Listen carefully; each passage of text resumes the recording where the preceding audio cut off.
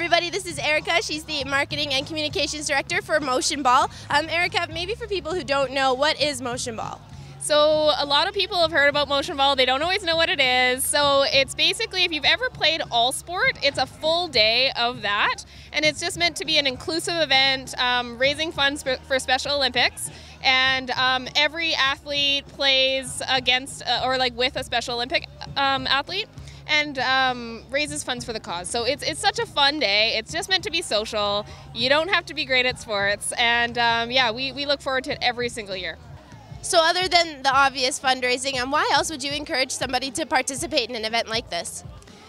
Well, um, I absolutely love this event, as many people do. Um, anytime I talk to the athletes or the people involved, they just say, you know, how fun it is, how you can see the impact right there beside you, like playing alongside the Special Olympic athletes and, and learning their skill and their talents is, is so beneficial for each and every one of us. Um, and it's just it really is a lot of fun. And so i just encourage anyone even if you don't think you're great at sports um, to come out and play because it's a great way to give back to, to our community.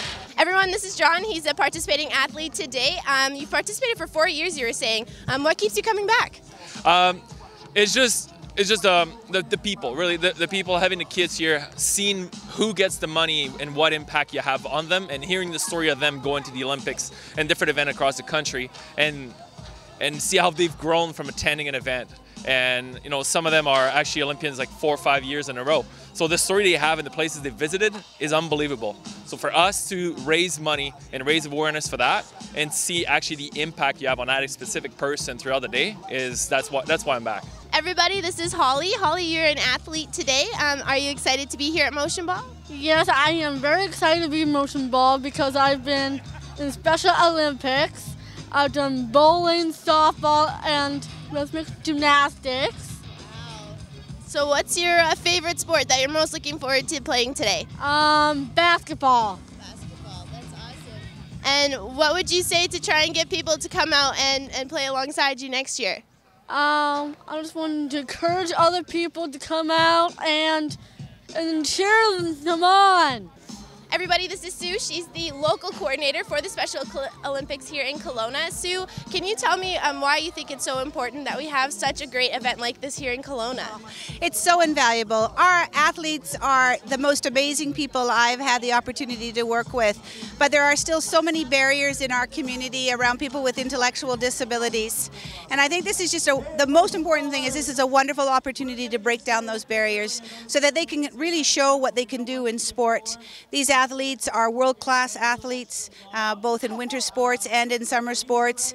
Uh, Special Olympics continues to do great work around the world for people with intellectual disabilities, and I think these events just help what we would consider generic athletes or other athletes or people in the community just to really understand um, how capable and amazing these athletes are.